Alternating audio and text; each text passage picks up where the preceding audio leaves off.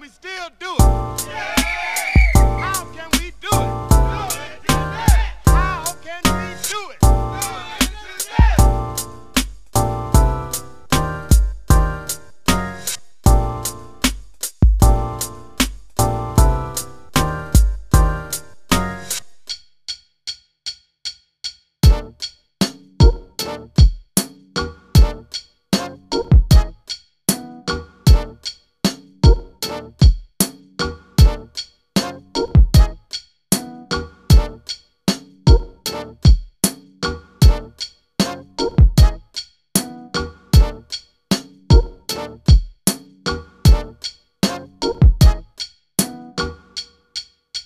can we still do it?